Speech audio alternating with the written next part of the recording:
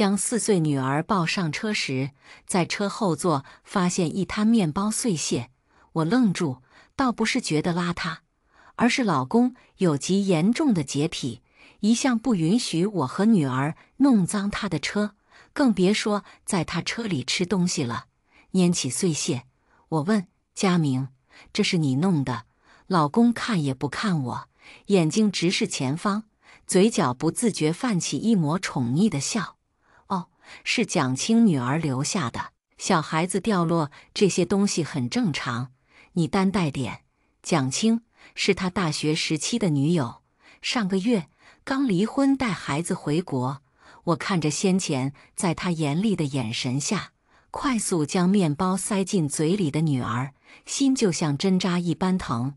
有些事我该做决定了，将刚退烧出院的女儿。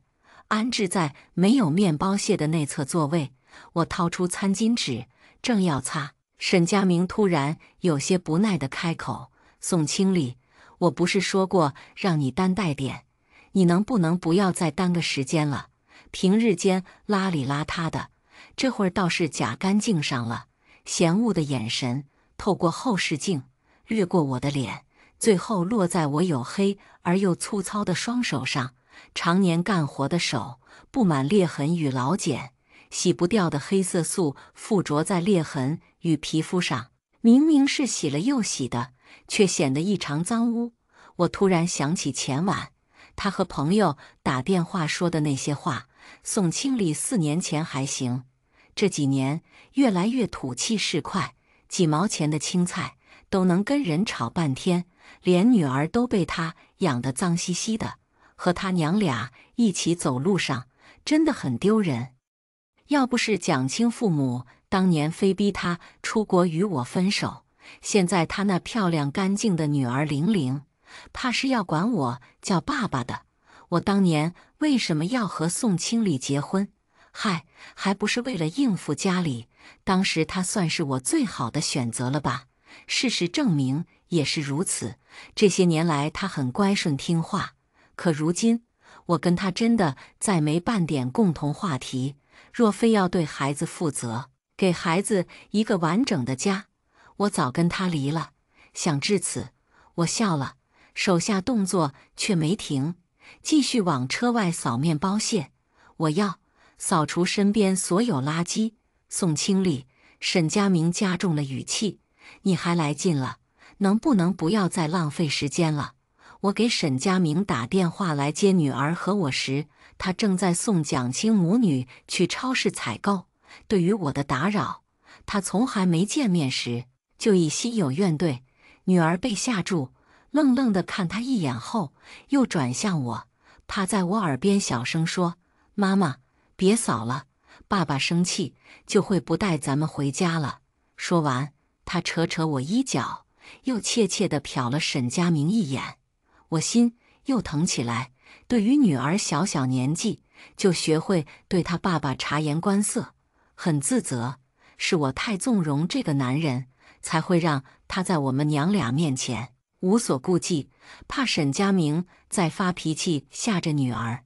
我加速将面包屑清扫出去后，就赶紧坐进了车里。路上，沈佳明接了个电话，是蒋青打的。我不想当女儿面再和他起争执，便没过问。车子行驶到距我们家还有六公里路的四方街时，沈佳明突然停车，扭头对我说：“你和彤彤打车回去吧，这里打车也方便。”我看着怀中已然熟睡的女儿，惊诧抬头：“为什么这里打车排队怎么着都少不了四十分钟？”沈佳明还没开口。我就透过车窗玻璃看到站在路边，身旁放着大包小包物品的蒋青母女，我笑了。难怪之前一直催促我快点，还以为他因担心饿着他爸妈而着急回家，却原来是这样。因为要送他们，所以就撵我和熟睡的女儿下车。听到我的质问，沈佳明怒了。要不是你突然打电话说医院附近没车，非让我去接，我早就将人娘俩送回家了。所以。他们是你老婆和女儿，还是我和彤彤是你老婆和女儿？彤彤只是我一个人的孩子，作为他的父亲，他生病，你不尽义务管；他出院，你也不尽责任接。那他要你这个父亲做什么？当摆设给别人看，宋清礼？你别无理取闹！我没有来接你们吗？那你现在是坐在谁的车里？还有，彤彤生病时，我在忙公司的事情，你让我怎么再分身去管他？我气乐了。和沈佳明结婚六年，他创业五年，今年初他才做出成绩，买了车，租了办公室，当了老板。而这六年间，家里所有开销都靠我自己扛。刚开始，我拿自己上班工资扛，后来，因为有了彤彤，本是说好来帮我们忙的他母亲，却因他父亲突然摔骨折而又折返回去。这一回去，便一直留在了老家，而我又是孤儿，所以无人帮扶的我，便辞掉工作，带着女儿摆摊卖菜赚钱扛。甚至这辆买来给他撑场面的车，有三分之二的钱都是我扛的。他竟然在这大言不惭，问我坐在谁的车里，向我抱怨自己分身乏术，可笑，当真可笑极了。人在气急时，脑中总会闪过许多碎片记忆。我突然想起前几天听过的一句话：“李姐，其实有时候你没必要因为别人的一点爱，就奉献自己的全部。这个别人若有良心，还则罢了；若没良心，则只会令你陷入不对等的关系中，任其欺辱。”这是一周前。隔壁新来仨月的鱼摊老板阿江对我说的。他说这话前，我正抱着女儿冲开车路过菜场的沈佳明喊：“佳明，我马上就要收摊了，你等等我，咱们一起回家。”沈佳明当时看也没看我，便扬长而去。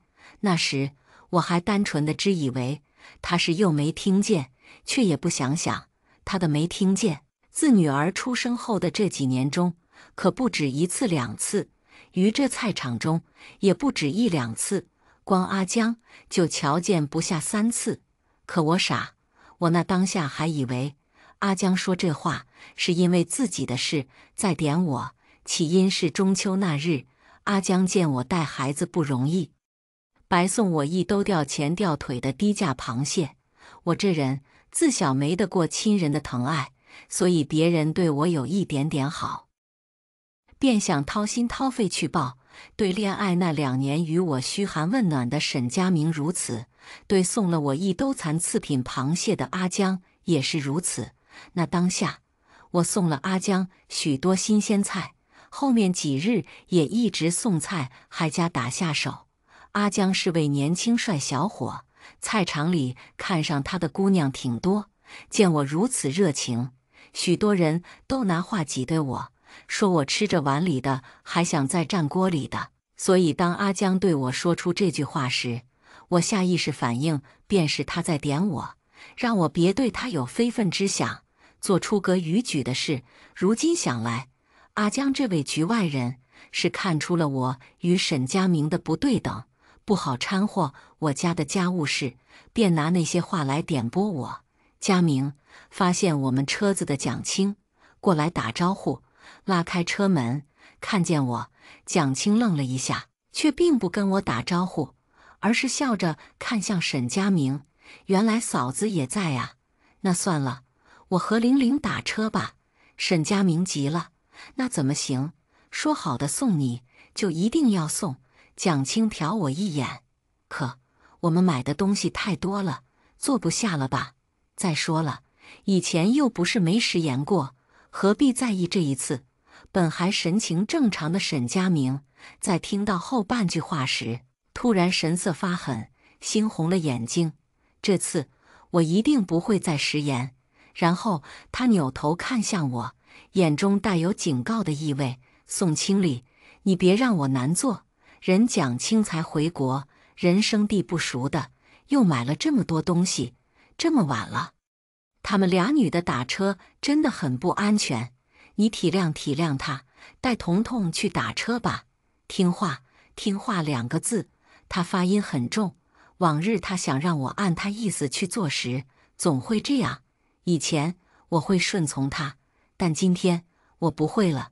从我决定要将垃圾都从我身边都清理干净那刻，就不会了。我抬头与沈佳明平视，反问：“那我和彤彤俩女的打车就很安全吗？你和彤彤怎么能跟人家比？谁会对你们起歪？”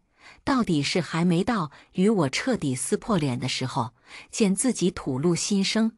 沈佳明快速止口，没继续往下说。蒋青此刻装作没听见的样子，扭头隔着路岩石和他女儿交流。不知何时醒来的女儿突然哭起来，但瞥见他爸爸有些嫌恶的目光后，撇撇嘴，收了哭声。我知道。沈佳明没说出口的话是什么？他想说：“谁会对你们起歪心思？”自他与归国后的蒋青母女接触后，沈佳明对于女儿的嫌弃也日益剧增。以往他还会用言语演戏，表达对女儿的疼爱，最近他也懒得演了，常在言语之中暗贬女儿黑，不如人蒋青的女儿白净有气质。可。四年风吹日晒，一直跟我摆摊的女儿，能白到哪儿去？这个虚伪、清高、瞧不起我与女儿的男人，大抵从未对我和女儿有过真心。说什么为了对女儿负责，目前不跟我提离婚，他还没跟我提离婚，不过是还没真正拿下蒋清，此刻怕鸡飞蛋打而已。以前看不清，是因为我爱他。而他表现的也未如此明显。如今我已将他看得透透的，我不会再信这个从未用行动表示，只会用嘴说爱我和女儿的男人。我也不会再给他欺辱我的权利，更不会让他再有机会与我的女儿面前耀武扬威。我要告别这段不对等的婚姻关系。瞥了沈佳明一眼后，我将女儿紧紧。抱进怀中，亲亲她五官长得异常漂亮的小脸，贴在他耳边轻声说：“彤彤，咱们从今天开始不要爸爸了，怎么样？真的吗？妈妈可以这样做吗？”女儿欢呼出声，但看到蒋青和沈佳明都看向她后，又老老实实坐回我怀中。我刮一下他的鼻子，笑道：“真的可以这样做。”说完。我抱起女儿下车，来到沈佳明车门外，俯视正坐在驾驶座上的他，轻笑开口：“你还坐在这干嘛？下车去帮人往车上搬东西啊！”听到我的话，沈佳明愣了，之后像良心发现般掏出手机，竟不顾此处打车要排队四十分钟的事，对我说：“我帮你叫辆车吧。”我还没接话。蒋青突然接话了：“佳明，算了，我着急回去，就不麻烦你了。你还是直接送嫂子回家吧。嫂子虽然没有带什么东西，但抱着孩子打车确实也不方便。你食言就食言吧，反正今后我也不会再在意，怎么能算了呢？说好的。”听到蒋青的话，沈佳明立即将手机熄屏，红着眼睛。抬头与他对视，蒋青虽说着算了，但却一直站在车旁，并没有离开的意思。我看着此刻眼神焦灼在一起，不知一起往昔什么画面的两人，嘴角一弯，算了，还是我跟我女儿一辆车走吧。佳明，你也别帮我打车了，快去帮人搬东西。被拉出回忆的沈佳明。愣愣地冲我点下头后，便向路边走去。蒋青有些发懵，可能我没跟沈佳明大吵一架，出乎了他的意料。看我一眼后，他便随沈佳明一起往路边他女儿所站处走去。我快速将女儿放回车后座，给她系好安全带，叮嘱她等会车上路不要开窗后，我轻轻关上了后车门。然后我坐进驾驶座，关门，落锁，打开右侧窗玻璃，身体探向右车窗外，冲对面两人大声喊：“喂，沈佳明，蒋青！”听到我的喊声，刚拎起东西的两人茫然向我看来。我回头对女儿说：“彤彤，把耳朵捂上。”女儿向来听我话，当下便用两只小手捂上了耳朵。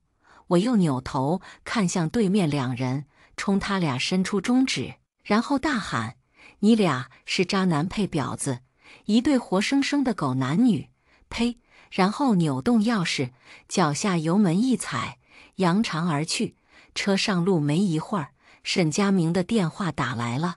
我任他在那震动，并不去接，毕竟现在对方情绪激动，我又不愿当女儿的面和他吵。到家。是晚上八点整，沈佳明父母正坐在客厅看电视。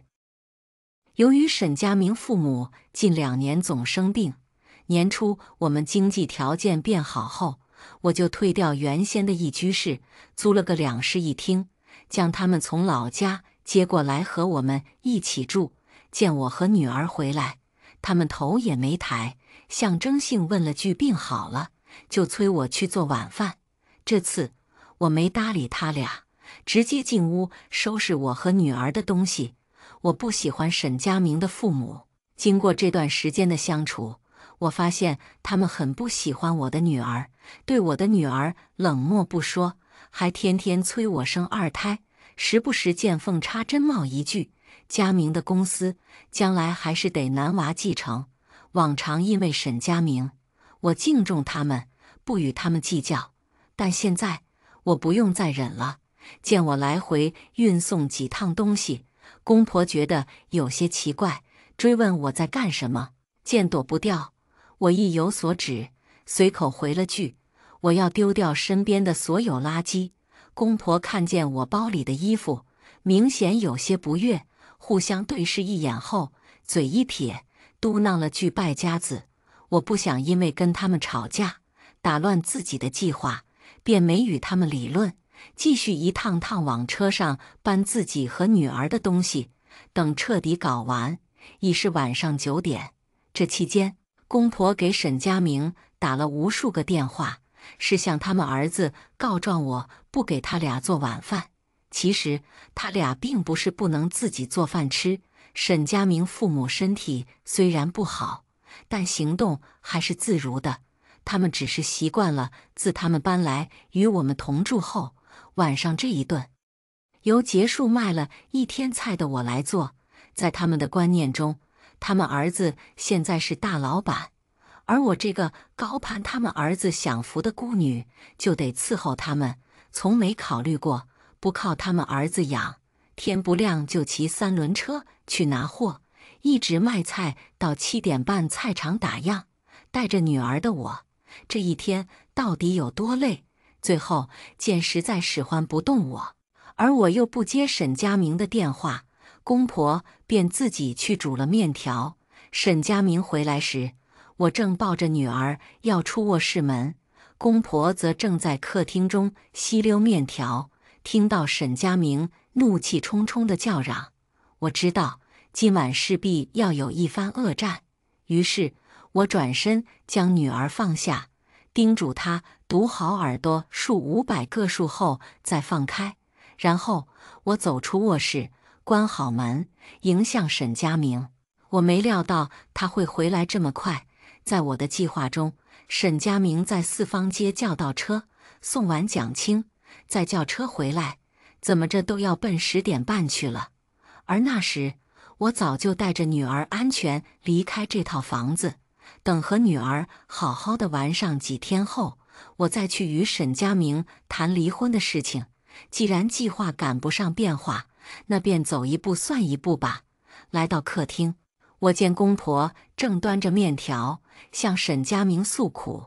沈佳明此刻脸上异常的阴沉，见到我，他开口道：“宋清丽，你现在立刻跟我去向蒋青母女道歉。”我愣了。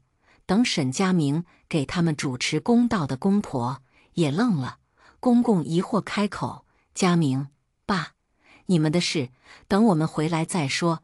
听到这句话，我笑出了眼泪。原来他父母在他心中也没蒋清重要。沈佳明一边回复公公，一边就要来拉我的胳膊。我当然不会傻乎乎的给他碰到，所以我快速移动两步躲开了。沈佳明，你有病就去治，道歉？凭什么？凭什么？你知不知道？你骂那些脏话，被他女儿一字不落听到了。小孩子现在正跟他妈妈闹，说他妈妈和他爸爸离婚是因为出轨我。你今天必须跟我去道歉，与人家孩子解释清楚。难道我说错了吗？你俩不是渣男配贱女吗？如果不是你俩今日在我面前勾勾搭搭的先犯贱，我会骂你们。宋清丽，你胡说什么？我和人讲清清清白白的，我不容许你诋毁我们。清清白白，诋毁沈佳明，你和蒋清也都三十多岁的人了，对于有妇之夫应该做什么，不应该做什么。你们能不懂？越界便是越界，大大方方承认不好吗？装什么装？恶心不恶心？还有脸嫌弃我土气、脏？我看真正脏的人是你和蒋清吧？宋清丽，你闭嘴！凭你也配一而再、再而三的侮辱蒋清？沈佳明说着，竟是拿起一只面碗砸向我。我正要躲，却被公婆扯住胳膊，啪！碗砸在我头上，又弹开，落在地板上，碎成无数片。我感到一股热流自脑门上流了下来。不知什么时候走出卧室的女儿，此刻正站在卧室门口与我对望。见到血，她边奔向我，边放声大哭：“你们不要欺负我妈妈，滚回房间里去！”沈佳明扯着嗓子向女儿发疯。见此。我也疯了，使出蛮力，一连往公婆脸上扇好几巴掌，又使劲踹在他们的膝盖处，挣脱他们的束缚后，我推翻餐桌，拎起桌面使劲扣在沈家明头上后，奔向女儿，一边快速将额头上的血抹掉，一边一把抱起她，快跑几步冲去卧室，被砸懵的沈佳明捂住流血的头。跟在我身后，怒吼：“宋清丽，你别想躲！今天你不跟我去道歉，就别想安生。”女儿虽然被他吓得哇哇大哭，却在我怀中，面对跟在我们身后的他爸爸开口：“爸爸，你要敢再打我妈妈，我长大后当了兵，一定用枪包了你！”听到女儿的话，我是想哭，却又想笑。沈佳明却是更怒了：“宋清丽。”这就是你教出来的女儿，没一点教养，竟敢跟她的爸爸说这种忤逆不孝的话！把他给我，我要好好教导教导他。说着，沈佳明竟想从我手中硬抢女儿。已到卧室门口的我，一把将哭得凄惨的女儿塞进卧室，反锁上门后，我将袖子一撸，拿出平常扛货的架势，冲向沈佳明。剑南父慈才子孝，然后一米七五的我和一米八的他撕扯到一起。沈佳明虽是男人，个头又比我猛些，但体格消瘦的他，却没常年干活，胳膊腿肌肉结实的我有劲，很快便落了下风。房子里的很多东西都被我砸了，基本都是我掏钱买的。大至冰箱、液晶电视，小至碗碟、杯筷、花瓶。期间，公婆也想参战，但一个被冰箱中掉出的香蕉绊了脚，一个又被沈佳明不小心绊了脚，两人都摔得鼻青脸肿，趴在地上半天起不来。在我又趁机逮住机会扇了沈佳明几个巴掌，在要去踹他下面时，一只大手捞起我的后脖领。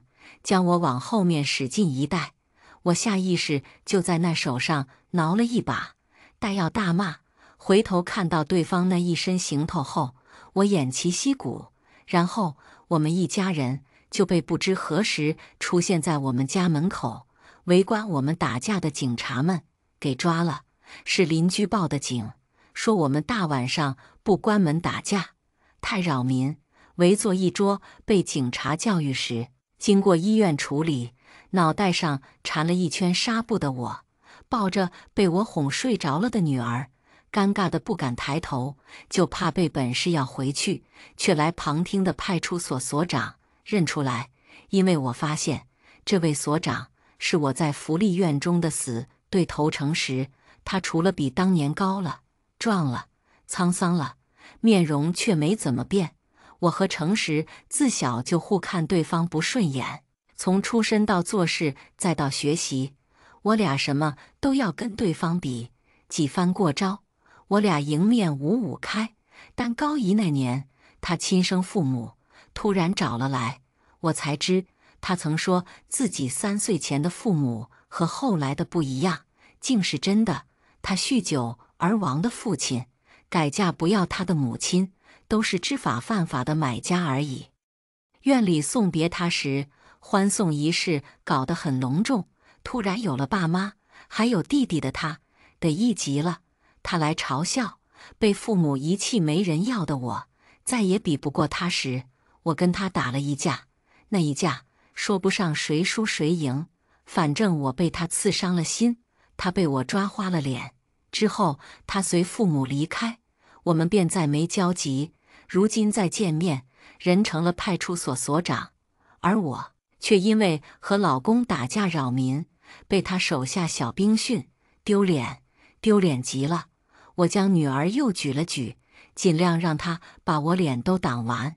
虽然我也不知道她能不能认出我来。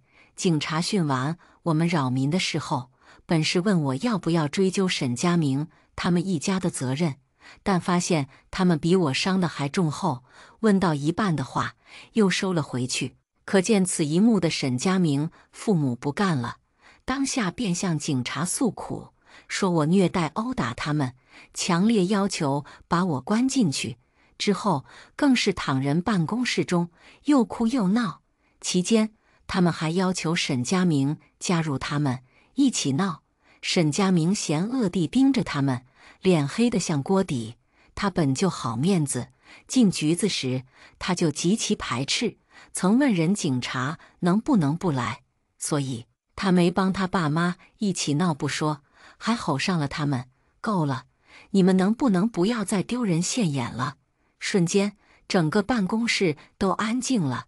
警察见此，舒口气，让我们收拾收拾，赶紧回家去，并告知我们。再因打架斗殴扰民，就不是批判教育了。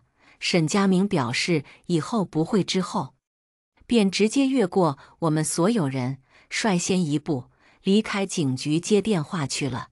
电话应该是蒋青打的，因为警察教育我们的期间，我曾见他挂掉蒋青好几个电话。公婆慌忙颤颤巍巍小跑着跟了上去。我不打算和他们一起回家。所以我等他们走远一些，才抱着女儿慢慢起身。宋清丽刚踏出办公大门，便听到身后有人喊我的名字，是诚实喊的。我当没听见，抱着女儿继续往外走。下一步，一堵高大的人墙挡在了我们娘俩身前。宋清丽见躲不过，我有些愤怒，便抬头恶声道：“何事？你要去哪？”我送你，想象中的嘲讽语气没有，有的却是带些关心的语气。我有些尴尬的笑了，道：“倒是不用麻烦了，我就近找个酒店。”几步路的事，诚实盯着我看一会后，说了声“好”，却继续挡道不动。见此，我只好绕过他。那那我先走了哈。等等，诚实在我身后喊。我侧身看他。他神色很严肃，深深吸了一口气后，突然对我说：“对不起，我摸不着头脑。我说的是当年嘲笑你被父母抛弃的事。”他挠挠头，我哑然站在原地发愣。随着年岁增长，我心智成熟，这些年每每回想起当年之事，便只觉自己当年真该死。所以，宋清丽，就当年的事。我在这一刻郑重向你说声对不起，希望你能接受我迟来的道歉。”说完，他还向我深深鞠了一躬。宋清丽，今天这欠不到，我便同你离婚，你自己看着办吧。去接蒋清电话的沈佳明去而复返，边向我走来边冲我喊。在看到向我鞠躬的所长后，他处在原地。我本是感动的心情，在这一刻立马被恶心和厌恶取代。瞥了眼脸上神情精彩万分的沈佳明。想着等会回去拿车，恐怕也不得安生。我不由嘴角一扯，计上心间。所长，您刚刚说要送我是吗？将诚实搀起，我轻轻捏了捏他的胳膊。某某街某某号，您方便过去吗？我说的是我和沈佳明所租房子的地址。诚实看看眼神中带有恳求的我，又瞥了眼沈佳明，笑着点点头。方便，走吧。您再等我一会哈。跟诚实说完这句话，等他点头后，我走向沈佳明。好啊，离就离，明天就去，反悔是孙子。说完，我便转身随诚实去拿车。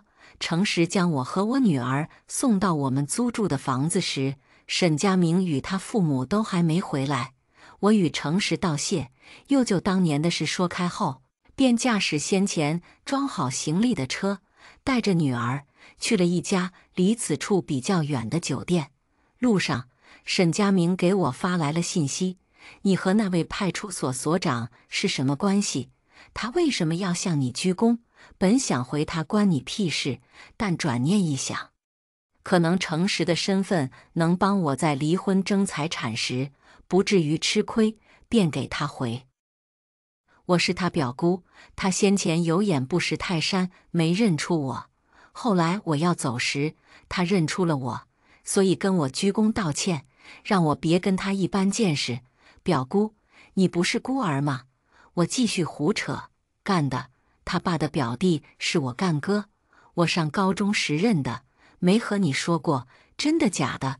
沈佳明处于信和不信之间，赌他也不敢去问，我便回。你可以去问他呀。信息发出后，好一阵我都没收到沈佳明的信息，于是我不再管，任手机扔在一旁，重新启动车子上路。在酒店中将女儿安顿在床上后，沈佳明又给我发来了信息：“你对离婚财产分配这块有什么要求？女儿归我，我的菜摊归我，你的公司归你。另外。”车给我，你再补给我五十万。沈佳明的公司是一家创意设计公司，每月收入很不稳定。若不是去年底他拉到几家公司的项目，这次创业他又得赔得底朝天。找他要的钱，是我这些年陆续支持他创业的钱，也是他目前能拿得出的全部。我并不看好他公司的后续，也不打算跟这个人离婚后再有牵扯，所以我打算一次性拿了钱和车，便带着女儿与这人再也不联系。聊天框一直显示对方信息正在输入，我实在是困，便不再理他，去睡觉。刚躺上床，对方发来了信息：明天上午九点去办理离婚手续。条件就按你说的来。第二日，我们便按约定时间办理了离婚登记。等带着女儿出现在菜场时，已是下午。阿江见我来这么晚，便和我闲聊了两句，得知我的近况，又听说我要租房住后，他说我若不怕，可以租他的房。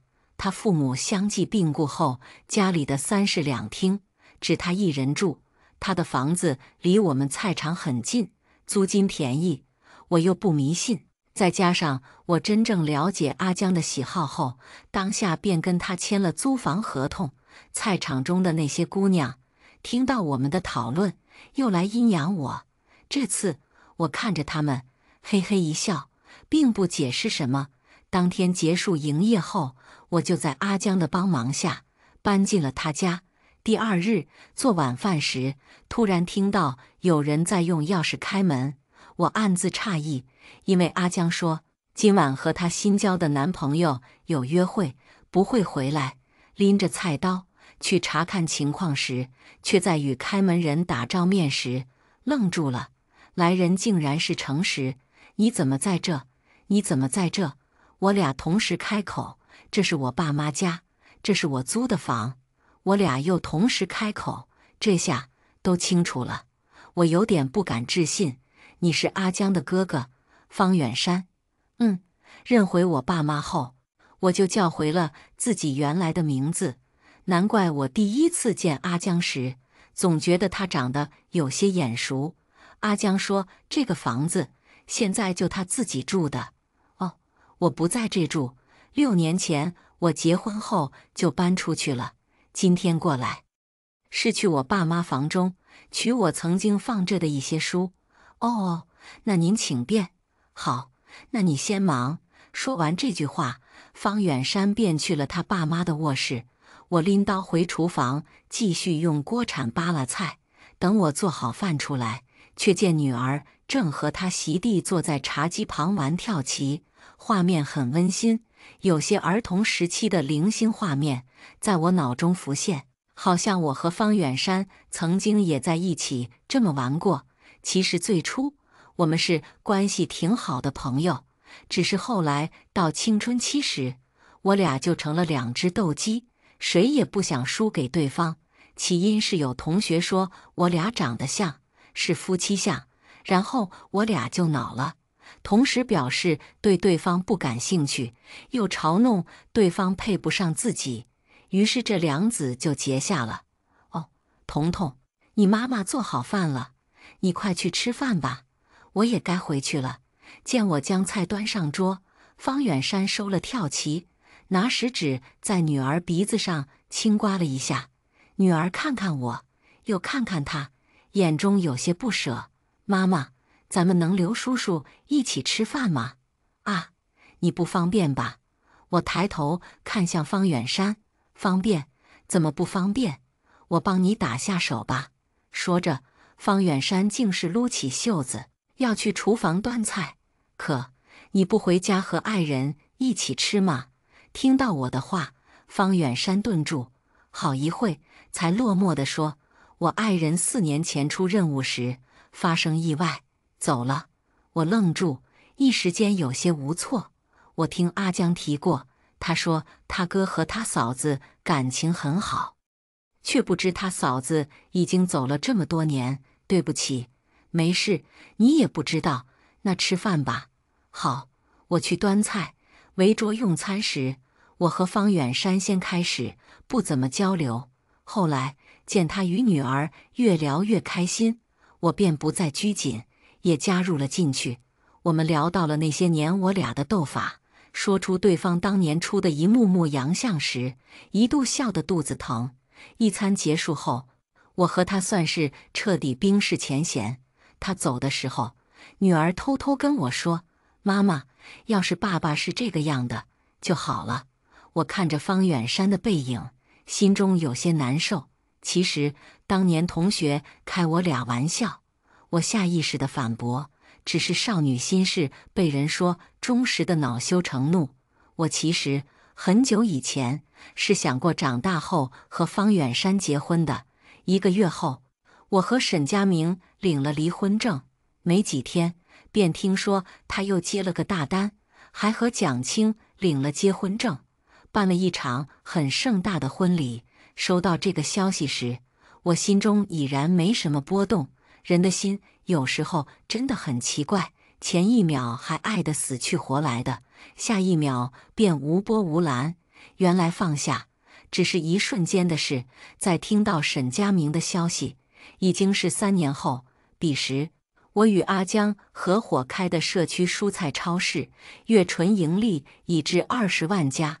虽然不是大富贵。但比起我以往摆摊的收入，已是翻了数倍。我相信我的日子会越过越好。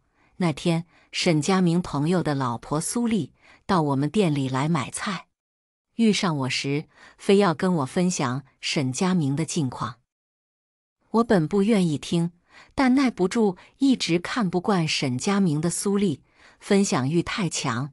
沈佳明的公司在半年前又倒闭了，原因是他与蒋青开销过大，公司入不敷出，祸不单行的是，上个月他还出了车祸，伤得很重，没人去照顾他。因为他父母在他与蒋青结婚后就被他们赶回了老家，没多久，老两口因为煤气中毒死在家中。因为是夏季，被发现时身上爬满了蛆。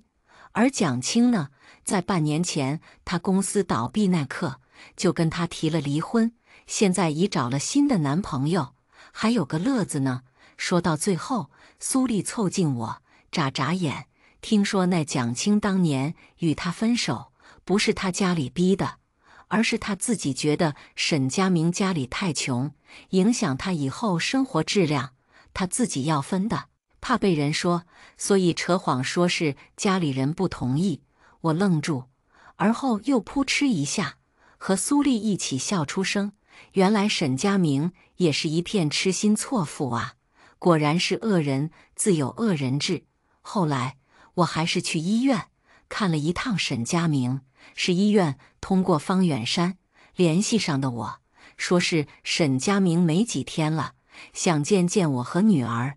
见到他时，他消瘦的不成样子，身上味道很重，想来是卧床太久生的褥疮腐烂散发出来的味道。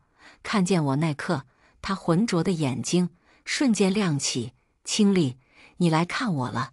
然后他又往我身后看，彤彤呢？他没来吗？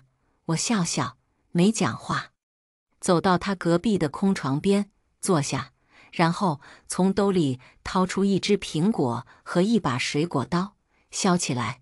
到最后还是你对我最好，除了你，我联系的人没一个来看我的。我依然没讲话，只专心削苹果。沈佳明觉得有些不对劲。脸上的笑开始收敛，眼睛盯着我一动不动。等我削好苹果递给他时，他才又展露了笑容。苹果很甜，我点点头。我专门选的当年那个品种。沈佳明愣住，神情有些茫然。我知道他记不得了，于是我帮他回忆那年我摔伤，躺在咱们公司的隔壁医院里时，特别想吃苹果。后来。你和咱们当时的同事们一起来看我，你们拎了一兜苹果来，一众人中只有你因为觉得我手不方便，帮我削苹果吃。事后你还细心的帮我扔掉了核，倒是不记得了。你当然不记得，当时我们只是两个部门的普通同事，你因为和他们一起合作项目，被临时起意来看我的他们一同扯了来而已。你这么一说，我想起来了，是有这么一回事。我叹口气，就因为这个，我当年才会追你。沈佳明一怔，低声呢喃：“原来你不是图我长得帅。”我笑了。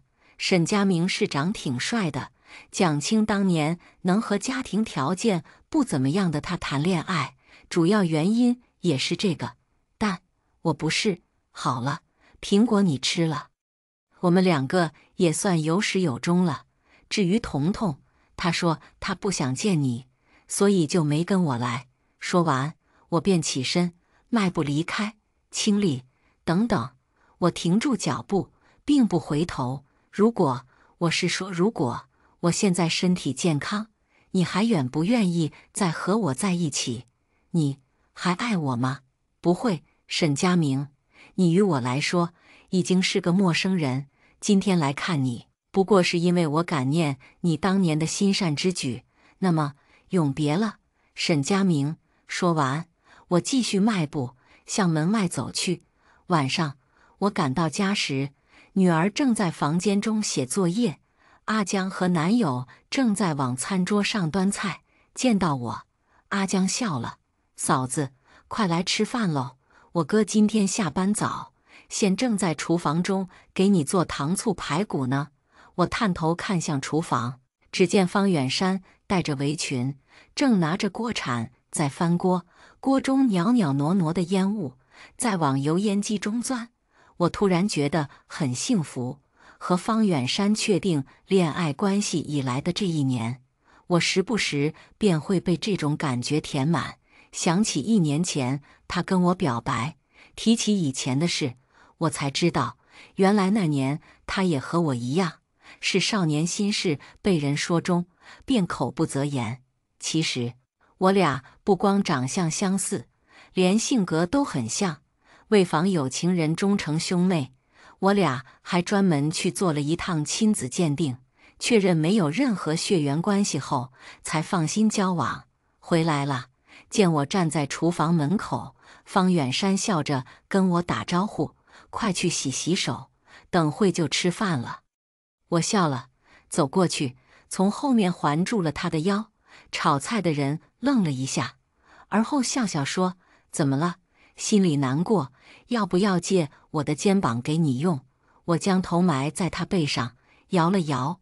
不是，我不难过，可也不高兴，正常的。他人将死，你不高兴很正常。毕竟你是个重感情的人，不是？远山，我的不高兴是因为我有些焦虑。焦虑。方远山转过身子，双手搭在我肩上。焦虑什么？我怕世事无常。我们会像沈佳明一样出意外。方远山将我搂进怀中，可能是想到前妻，声音有些发抖。不会的，我们不会发生意外，我们所有人都不会再发生意外的。清丽，我轻轻拍拍他的背，帮他舒缓一下情绪，然后开口：“远山，嗯，我们结婚吧。”我说，抱着我的人身体瞬间僵硬。清丽。你说真的？最近这半年，方远山曾向我求过两次婚，可我怕，我还是受到了上段婚姻的影响，不敢向前迈步。尽管我知道眼前这个人和沈佳明不一样，可我依然忐忑。但今天见到沈佳明后，我想通了：世事无常，人生苦短，我应该享受当下，与所爱之人做所爱之事。我说真的，远山，我们结婚吧。我又郑重的、坚定的重复了一遍。哦，太棒了！我终于可以喊方叔叔爸爸喽。厨房外，女儿探脑袋进来，欢呼。我被吓一跳，赶忙离开方远山怀抱，脸臊得通红。嫂子，哥，你们继续，我给你们善后。和我女儿一样探脑袋进来的阿江。边对我们说，边将我女儿一把抱起。啊，小芳叔叔，你干嘛抱走我呀？你放下我，你个小屁孩！我不抱走你，让你杵那当电灯泡啊！扭头，我和方远山对视一笑，然后他又将我搂进了怀中。隔窗，我看向外面的万家灯火，幸福的笑了。接下来，我们来听下一个故事：隐婚三年。他亲儿子四岁，协议还有两年到期，我只能勤勤恳恳帮他奶儿子。没想到此时，孩子他妈从国外回来了，我麻溜儿收拾包袱，准备给人腾位置，他却不乐意了。当我是什么人，说甩就甩。那小孩也不乐意了，说好的永远当我妈妈，怎么说变就变。我看着这一大一小，怎么感觉？哪里怪怪的？江毅回国了，还带了个小豆丁。我看着那张眉眼异常眼熟的脸，虚心求教。这位是看不出来，我儿子。闻言我一愣，随即竖起大拇指，一眼就瞧出来了。小少爷小小年纪就已经有了父亲的风范，一表人才，一看就是人中龙凤。大概是我彩虹屁吹的有点过，现场氛围略显尴尬，连那孩子听完都害羞的往江毅身后躲了躲。不管怎么说，都是江毅的崽。本着跟未来老板套近乎的原则，我蹲下身子，笑着问：“小朋友，你几岁了呀？”小家伙探出个脑袋，怯生生朝我比了四根手指。江毅跟我结婚三年。如今突然冒出来的小孩四岁，我安慰自己，江毅还是有点职业素养的，至少不是婚内出轨，算给我了个体面。原以为这件事跟我关系不大，没想到晚上江毅找到我，有件事需要你帮忙。江家不知道这个孩子的存在，他母亲那边最近出了点情况，后续会由我继续抚养。我没吭声，知道他还有后话。果然，江毅继续说道：“我要给他一个身份，需要你把他认下，这是计划外的事。我会在协议基础上额外给你补偿金。”这次我终于听懂了，江毅无非就是想说，这孩子是我们俩生的。利用合法的婚姻关系，让他堂堂正正住进江家。我有些犹豫。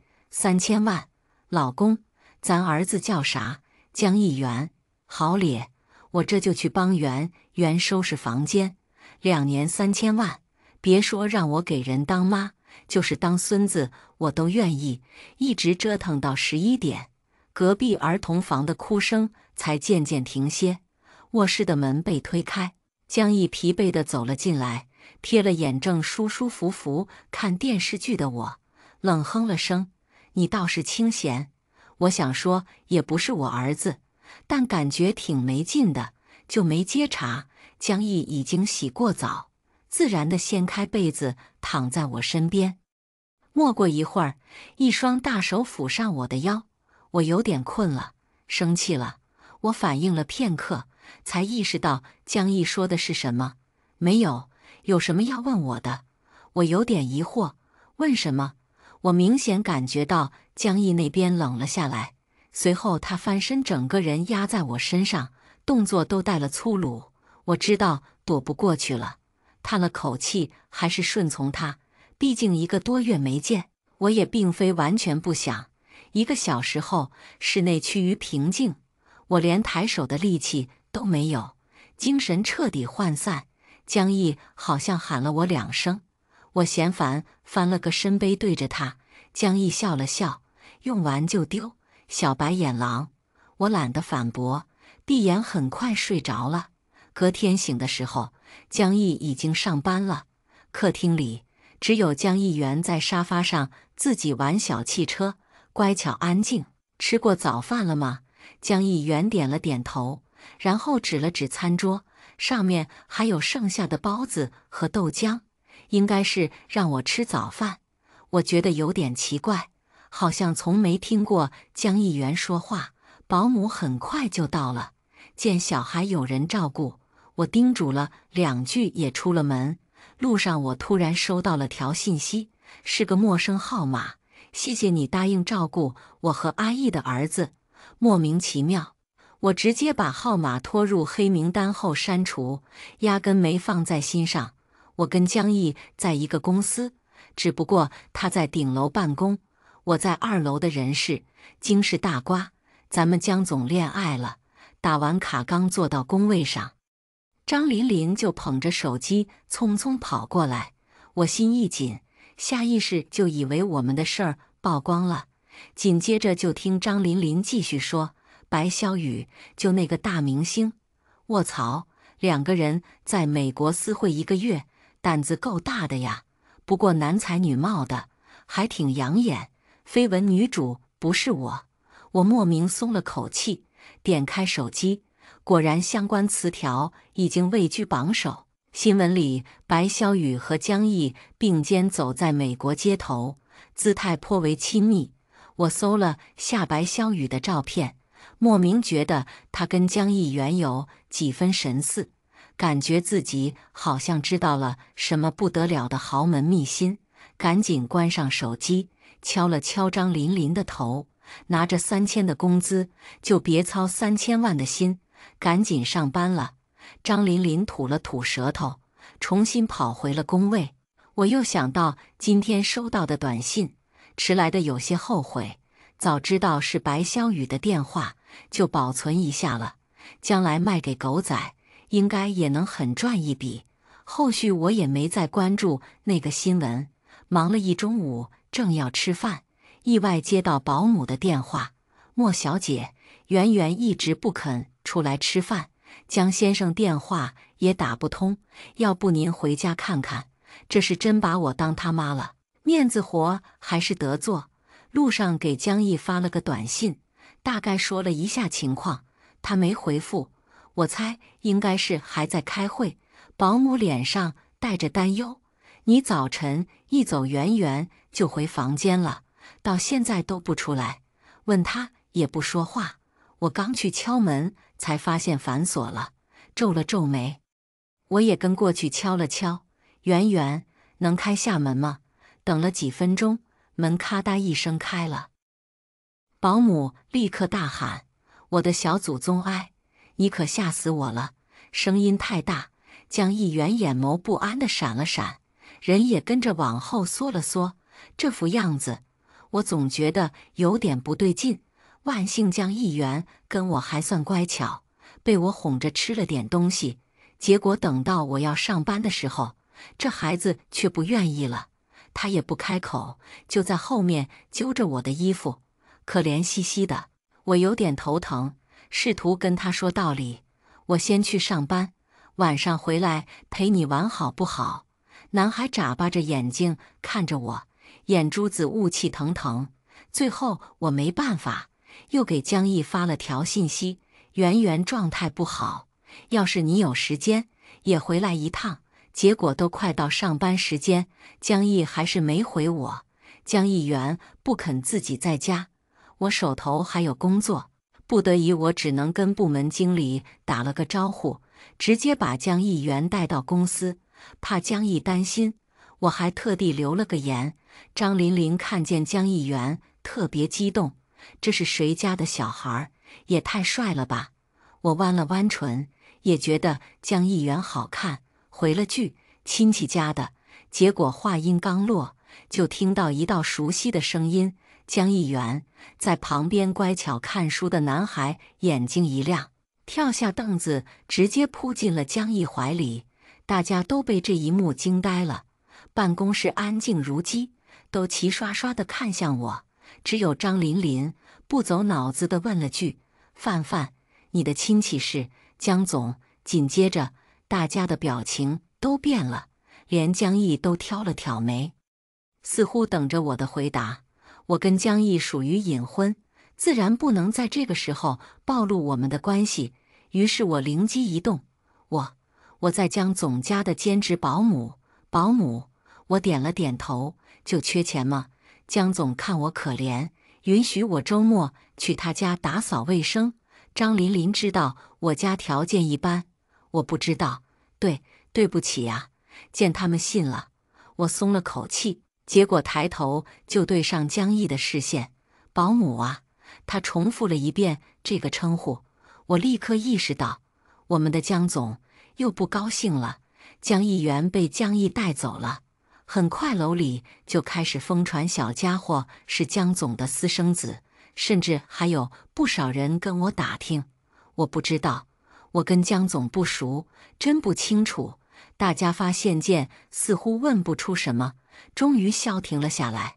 我有点不高兴，给江毅发了条信息：“你怎么直接就过来了？不是你让我有时间接他的腰？”我有点无语，我是这个意思吗？结果他紧接着就发来一条：“没开车，下班带我跟圆圆回家。”听到这个，我整个人就不好了。原本我就处在风口浪尖处，这个时候再被同事发现我跟江毅有牵扯，岂不是自寻死路？犹豫了一下，我还是决定采取稍微折中一点的办法。您能在稍微远点的地方等我吗？比如，我想了想，出了公司右转八百米有一个十字路口，然后再向左走五百米有一家便利店。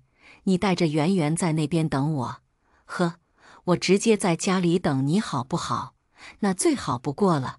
莫等我回复，那边冷冰冰传来几个字：六点 B 一。好的，六点一到。周围的同事纷纷起来准备离开。我事先溜去洗手间，戴上了一个硕大的遮阳帽和口罩，偷偷摸摸把车开到 B 一。看见我的装扮。江毅面色往下沉了沉，我就这么见不得人。主要我是怕万一咱们被人瞧见，有人质疑您的品味。跟在后面的江议员好奇的仰头看着我，我摸了摸他的脑袋。上车，江毅抿唇，直接拉开副驾的门。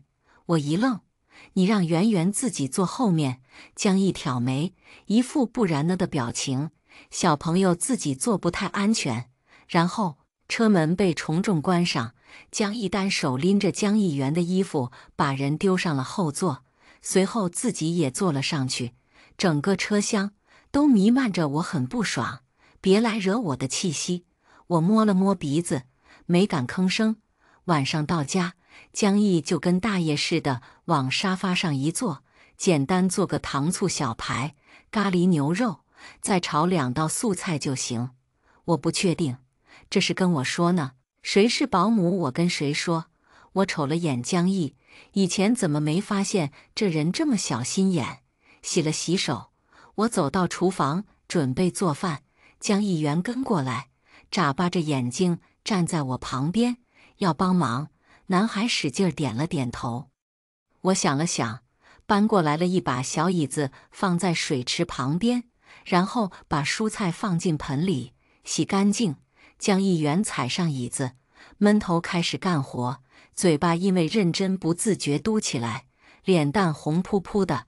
让人忍不住亲一口。实际上，我也确实这么做了。男孩一愣，从脸颊红到了耳根，两颗眼珠子跟进了水似的，仰着脑袋朝我眨了眨眼，表情呆萌呆萌的。圆圆洗得真干净。小孩咧嘴笑了笑，手上的动作更卖力了。呵，站在门口的男人看见这一幕，突然冷笑一声。我扭头，只看见这人离开的衣角，咱也整不明白，这种人怎么能生出这么可爱的儿子？晚上江议员睡着，我才从男孩的卧室出来，一出门就被男人的手抓住，大横将我丢在床上，可以睡觉了。我惊呼出声，随即轻笑：“对不起，保姆不提供陪睡服务，不好意思，我们家的陪。”那我这就给王婶打个电话。说着，我爬起来准备拿手机。江毅反应过来，直接攥住了我的双脚，将我重新拉回他身边。故意的，我笑得眼睛眯起来。江毅捏住我鼻子，逼我了一天，欠收拾。说着，吻住了我的唇，呼吸逐渐急促。渐入佳境时，突然听到了一阵哭声。我俩俱是一震，别理他。江毅不想停，但紧接着就传来敲门的声音。江毅瞬间就萎了，趴在我身上喘着粗气。你去开门，我要穿衣服。江毅磨了磨牙，欠了他。你儿子。江毅冷哼，我可没这么粘人。此时我特别想问一句，你确定？但碍于身份，我还是选择克制。江毅臭脸将孩子领进来。我这才发现，江议员居然手里还抱着个枕头。进来之后，迈着小短腿，飞快爬上床，把枕头放在我旁边，咧嘴朝我笑着，眼睛上的泪珠子还没擦干净。我擦了擦他的脸，轻声斥了句，又哭又笑：“小猫尿尿，我带你去自己的房间。”江议员不肯，江毅黑着脸又重复了一遍。江议员索性直接不看他罢了，把脸迈进我怀里，只露出一个倔强的屁股。换了新环境，估计是不适应。要不先让他在这边睡一晚吧？江毅瞥了我一眼，哼了句：“你倒是角色进入的挺快。”我吭声。江毅不情不愿地躺下来。这是默许了。江议员睡不着，我随便翻出了一本书给他念童话故事。念着念着，小家伙抓着我的手逐渐放松，呼吸也均匀了下来。我声音停住，刚要把书合上，也准备睡觉，就听到男人开口：“然后呢？什么然后呢？”江毅皱眉：“风把小猪的家吹跑了，然后怎么办？他们住哪儿了？”我看着一脸认真的江毅，一时间也不知道他是不是故意的。把书往旁边一丢，闭眼说了句：“住你家了。”江毅轻笑，然后嗯了声：“两只小猪都住我家了。”哼哼。最近我在江议员身上投入的精力越来越多，这不是一个好现象。毕竟我跟江毅的婚姻本就不是正常状态，我这个妈也只能维持两年的时间。我告诉自己，我都是为了对得起那三千万，才不是真想给江议员当妈。周末快下班的时候，张琳琳突然神秘兮兮把我拽到旁边，双手合十。范范，求你个事儿，晚上有场联谊，原本约好的小姐妹放了我鸽子。反正你也是单身，帮忙顶一手。不去就急呀！这次联谊的男方质量可高了，我发誓跟歪瓜裂枣的不一样。张琳琳作为大龄女青年，每天都战斗在相亲前线。你要是不去，我就真不知道找谁了。原本说好的两男两女，现在就剩我自己，算什么回事啊？真不行！我面露难色。我不是给江总当保姆吗？他晚上有应酬，我得回家照顾圆圆。那就把小朋友带着呗。张琳琳晃我的胳膊，里面有一个男的，正好是儿童心理医生，他肯定能照顾好小朋友。儿童心理医生，我一愣。突然想到，圆圆从到家就没开口说过话，点了点头，还是答应了。给江毅发了个信息，告诉他晚上我会带圆圆出去吃晚饭。男人回复的倒是快，直接甩了个 OK 的表情包给我。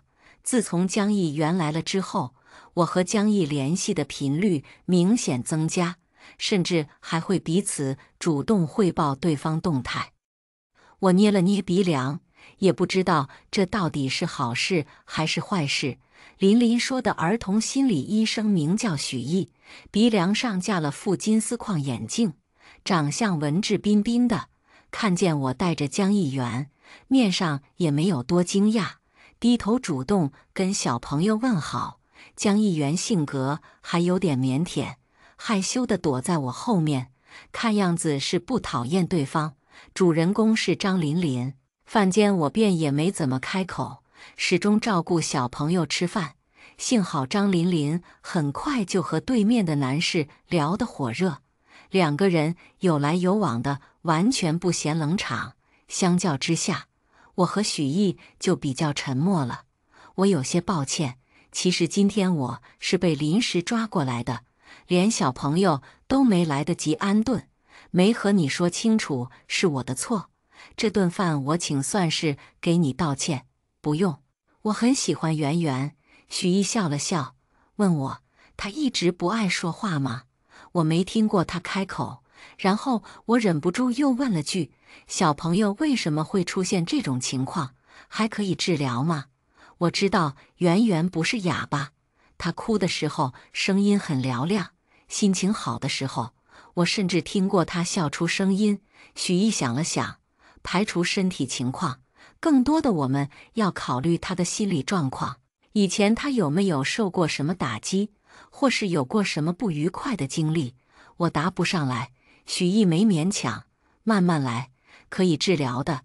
等小朋友有了足够的安全感和信任感之后，或许能得到缓解。说完，他递给我了一张名片。有需要，随时恭候。我们这是联谊失败，但成功建立了医患关系。许毅扬眉，或许联谊也不算失败。我没去深究这句话的意思。吃过饭，张琳琳和另一位男士准备去看电影。我借口小朋友休息，准备先回家。许毅主动起身，我送你，不用麻烦，我们打车就好。让女士独自回家，可不符合绅士风范。张琳琳在旁边点头。傅毅，范范，你是坐我车来的，不把你安全送到位，我心里也过意不去，推拒不得，添麻烦了。我抱着江议员在门口等着，却意外看见了一抹熟悉的身影，是江一和、白霄宇。我抱着圆圆愣在原地，一时间不知如何反应。但下秒就听到白霄宇惊喜的声音：“圆圆！”女人飞快跑过来，几乎是瞬间，我感觉到江议员抱着我的手臂陡然缩进。他不仅没有任何愉悦的心情，甚至把头埋进了我的脖颈，拒绝回头看向那个女人。白霄宇已经走到了面前，他踩着一双恨天高，身上是刺鼻的香气。圆圆，是妈妈呀！你不认识妈妈了吗？江一元理都没理他。两条短短的胳膊死死抱住我，生怕我把他放下。白霄宇有些恼怒，一双眼死死瞪着我。一定是你教唆圆圆不认我这个妈，对不对？我还未开口，江毅走了过来。白小姐，提醒你不要忘记我曾经说过的话。白霄宇陡然停住，看向我的视线带着厌恶。片刻后，他重新戴上墨镜。抬腿离开，江毅站在我面前，还没说话，许毅的车便开了过来。我垂了垂眸，打扰江总，我先回去了。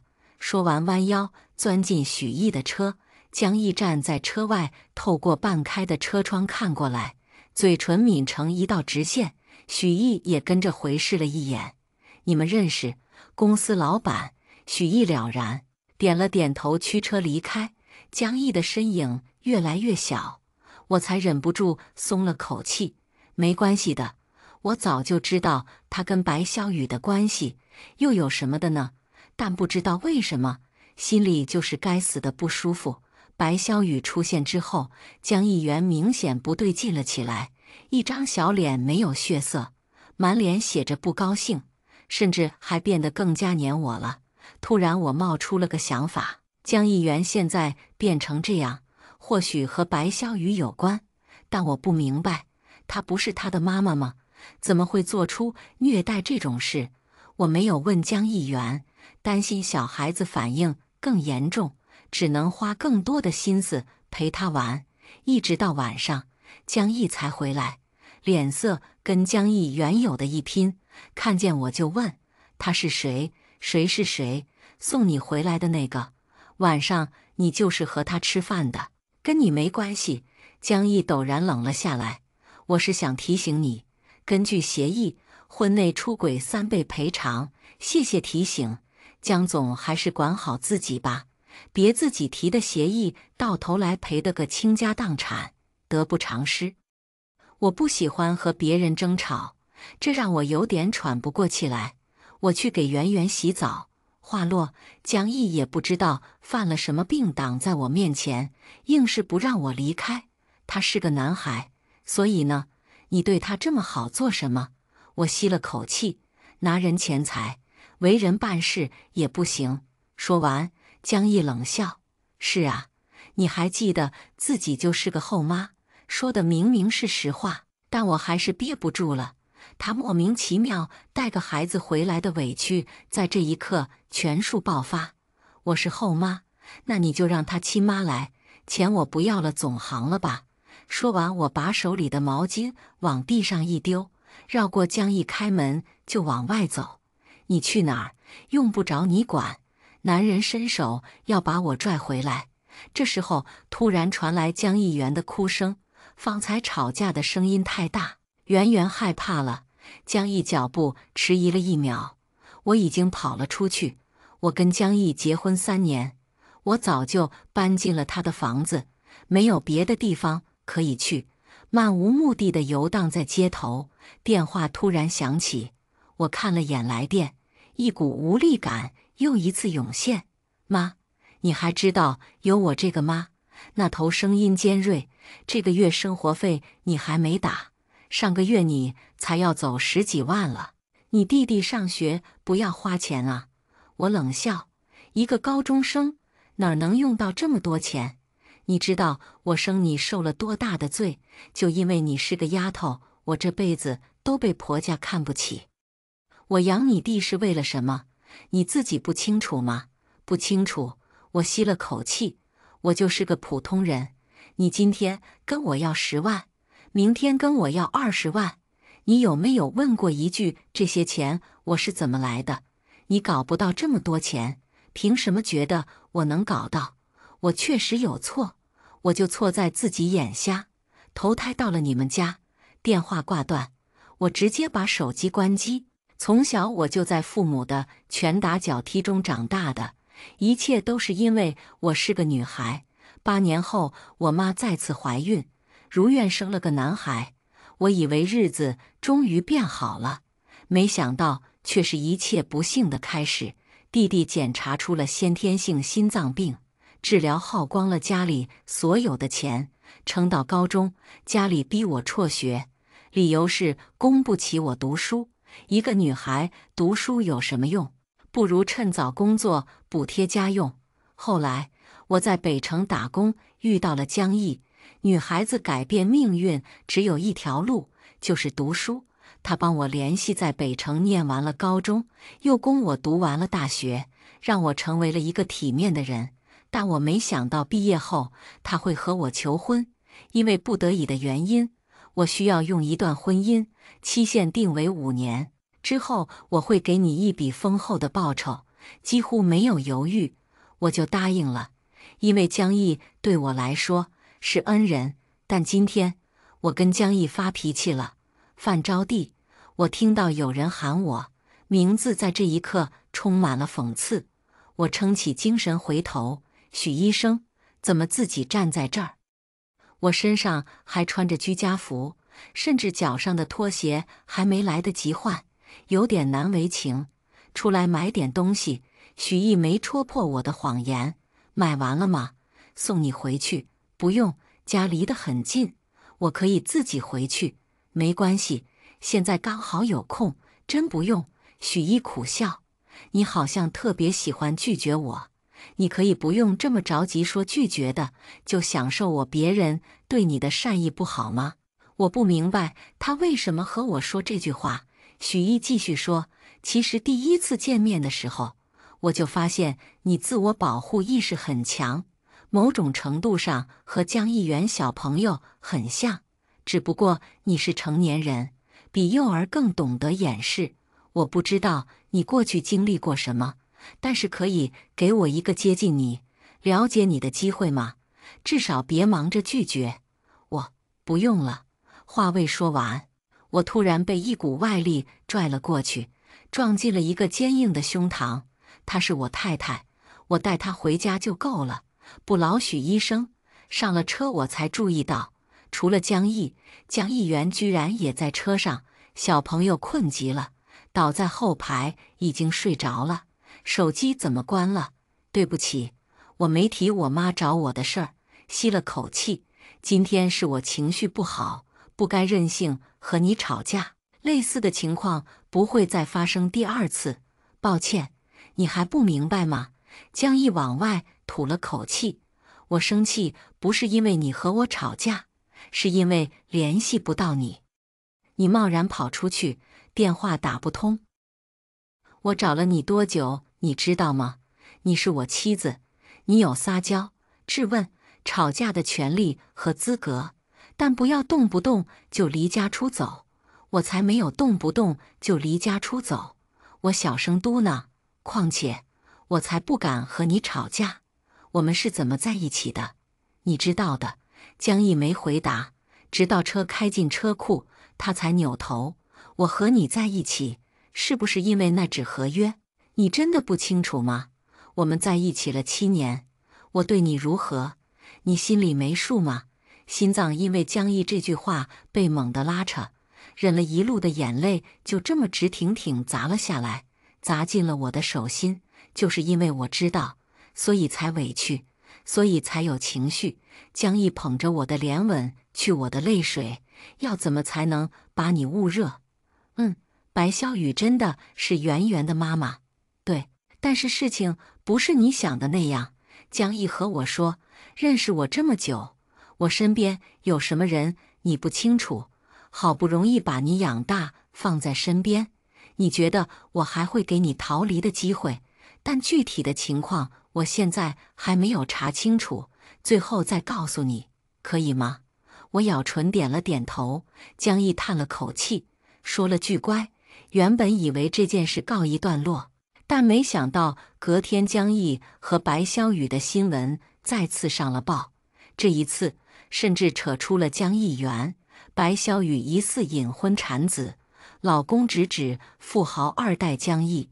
随后就有网友爆出了江毅抱着江毅元的照片，还有人拍到了白霄宇和江毅元在美国生活的照片，直接将两人的关系一锤到底。白小雨似乎还嫌不够，亲自发了张自拍，并配文：“谢谢大家的祝福。”紧接着评论区炸了。恭喜小仙女喜提良缘，也请大家不要关注艺人私生活，请多多关注白白新作品。江毅这个姐夫我是认可的，青年才俊，长得贼帅。之前是不是就有传他俩的八卦？我还以为是假的，没想到锤死了。因为这条新闻，江一家四周全都布满了盯梢的狗仔。江议员也不知道是不是感受到了这种紧张氛围，变得越来越敏感，担心出什么意外情况。我和公司申请了年假，专心留在家里陪江议员。这期间，我又收到了白霄宇发来的信息：游戏结束，替身终于要消失了。我照例想把号码拉黑删除，但犹豫了一下，我还是留下了这条信息。晚上。我问江毅：“你会和他重新在一起吗？”我和他从来都没在一起过。我想问，要是没在一起，江议员是怎么来的？江毅没解释，从我身上拔了几根头发，借我用一用。几天后，新闻越闹越大，江家知道了江议员的存在，通知我和江毅回老宅。我是害怕江毅父母的，我出身不好。和江毅结婚，江家是不同意的。但我不知道江毅到底用了什么方法，还是和我在一起。婚后我也没回去过，日子过得也还算太平。见我紧张，江毅攥住我的手：“信我吗？”我点了点头。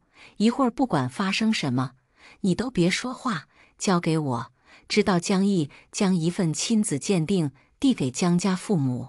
我才知道他说的到底是什么意思。我和范范认识了七年，早在他高中毕业，我们就已经是男女朋友。江议员是我和范范的儿子。我会公开对媒体澄清这件事。江家二老眼底是止不住的震惊。胡闹！但是事已至此，他们也只能答应。临出门时，家母喊住我，叹了口气：“什么时候？”把孩子带过来给我们瞧瞧吧。看着那张 DNA 检测报告，我整个人还处于震惊的状态。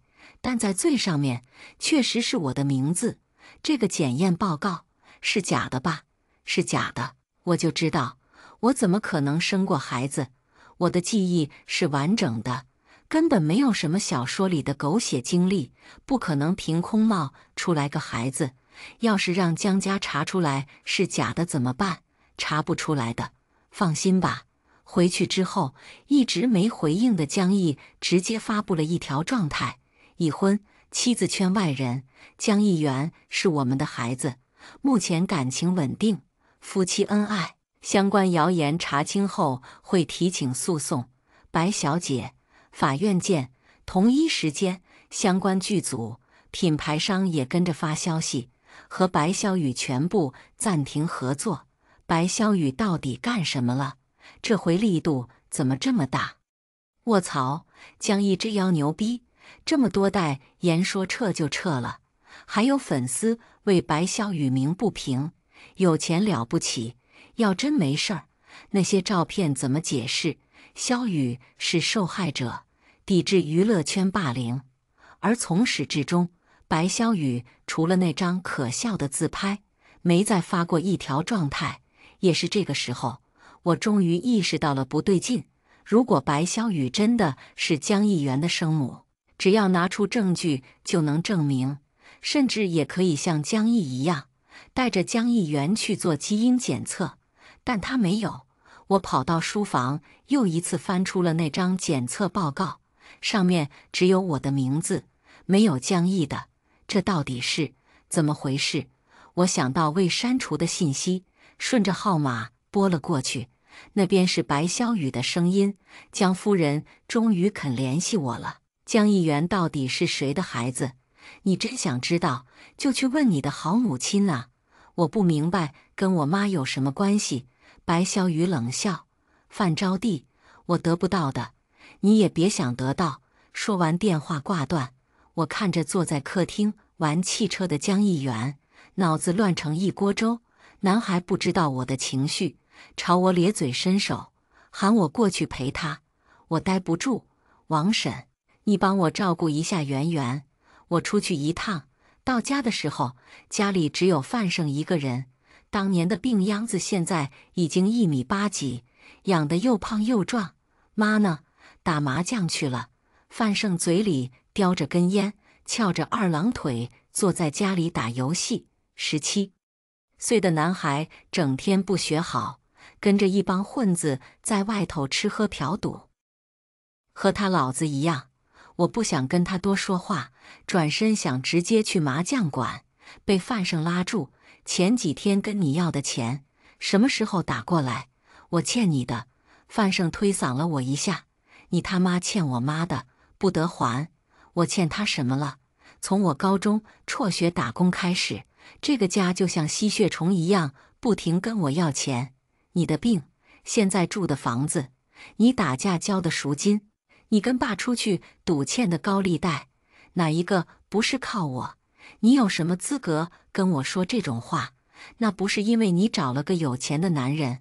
我回手给了他一巴掌。你他妈知不知道我为什么会跟他结婚？有没有在乎过我过得好不好？范胜，我当你姐十七年了，一条狗也能养出感情了吧？你长良心了吗？范胜被我一巴掌打傻了。我妈正巧这时候回来，疯了一样冲过来：“范招娣，你怎么跟你弟说话呢？”招娣，招娣，我厌恶死了这个名字，压下心底的怒气。你回来的正好，我问你，四年前。你对我做过什么？听到这话，原本还发火的人眼神开始闪躲。什么做过什么？我不知道。真的跟你有关？我走过去。为什么现在有一个孩子跟我 DNA 检测结果一致？四年前我出车祸做手术，是你全程陪在我身边的。你到底串通医生做了什么？就取了你几颗卵卖了而已。我是你妈。你什么东西不是我的？再说我要是不取卵去卖，你哪有钱做手术？是江毅给的钱做手术的。你弟弟当时也需要钱。我双手颤抖，再也没想到原来真相会是这样。当时我上学出了车祸，江毅在国外出差，打了一笔钱给我父母，让他们代为看护。那段时间我还想。为什么一向冷漠的母亲会突然在我住院期间展现久违的亲情？开始我还以为是江毅给的钱起了效果，没想到是因为取卵。我想笑，却笑不出来。范胜此时也听明白了，什么取卵，什么孩子，你们在说什么？我看向范胜，又看向母亲，你们还真是一丘之貉，烂到家了。从今天开始，我和这个家没有任何关系。你们是死是活，都别联系我了。说完，我扭头就走。我妈还想冲过来打我，被范胜抱住，而我已经没有任何力气关心里面的争吵了。江毅应该早就查到了吧，不然他不会始终照顾江议员。我后知后觉。为什么江毅在我住院之后不久突然和我求婚，还把我的户口迁进了别墅？现在想来，说自己需要婚姻求是假的，想帮我脱离原生家庭才是真的。他变成了我的丈夫，以后我的祸兮旦福都将由他这个最亲密的人亲自签字决定。我终于捂住脸哭出声。电话铃声响起。那边传来王婶的声音：“圆圆，圆圆丢了，有人伪装外卖员，把圆圆带走了。”我第一反应就是白霄宇，是他，肯定是他。别急，警察已经在调监控了。江毅握住我的手，会没事的。半小时后，我果然接到了白霄宇的电话。你到底想干什么？我什么都没了。江毅断了我的一切资源，就是想逼死我。白霄宇仿佛已经疯了。江毅原是我生的，凭什么喜欢你？我这么漂亮，这么有名，凭什么他们都喜欢你这个什么都不是的东西？白霄宇，我要把你身边的东西一个一个毁掉。这是你跟江毅欠我的，是你们欠我的。警察还在旁边根据信号定位位置，他们用手势示意我尽量拖延时间。我吸了口气，你买走了我的卵子生下江议员，为什么？因为江毅喜欢你呀！白小雨狂笑。当年要不是我想跟他表白，他没去赴约，我又怎么会帮一群小流氓侵犯，最后失去了生育能力？是他害的，都是他害的。他不是喜欢你吗？那我就偏要偷到你的卵子，找别的男人生个孩子。让他也体会一下痛苦的滋味。电话挂断，身边的警察飞速摘下耳机，已经定位到具体位置，现在出发。白小雨把圆圆带到了破旧的工厂，见我们跑过来，他把江议员抱在怀里，手里还拿了把刀。你们别过来，不然我一刀捅死他。大概是怕小孩子哭闹。也不知道给他吃了什么，江议员小小的身子软趴趴的，始终闭着眼。白霄宇目前的精神状况已经极度不稳定了，他死死盯着我和江毅，刀尖在江议员的脖颈上抵出血来。你把江议员放了，我过去行吗？我不忍心小家伙被这样对待，眼底含泪的看向白霄宇，他是你十月怀胎生的。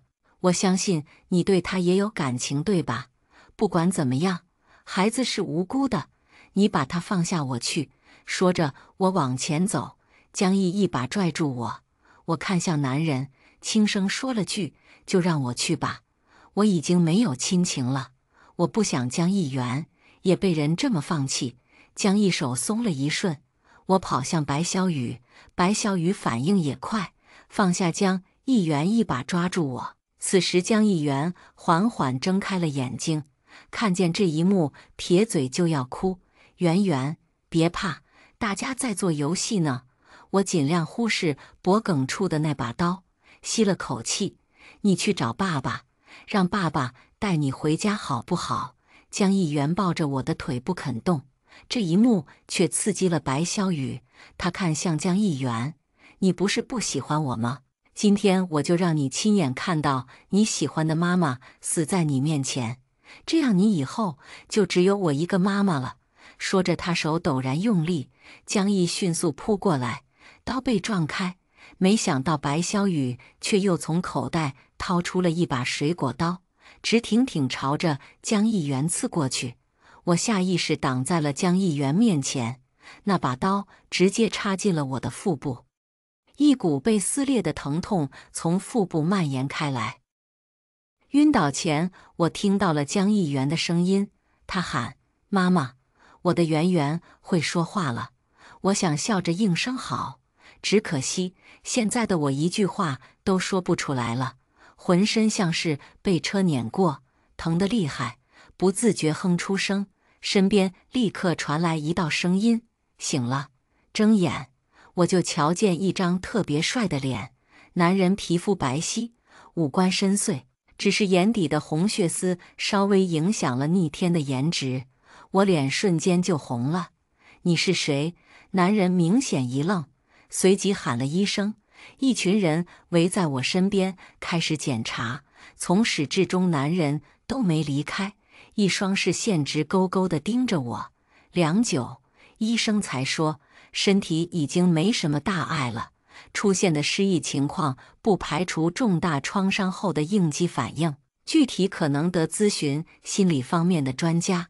片刻后，男人才走到我身边：“我叫江毅，是你丈夫，我们结婚三年，有一个四岁的儿子，名叫江毅元，很可爱，长得像你。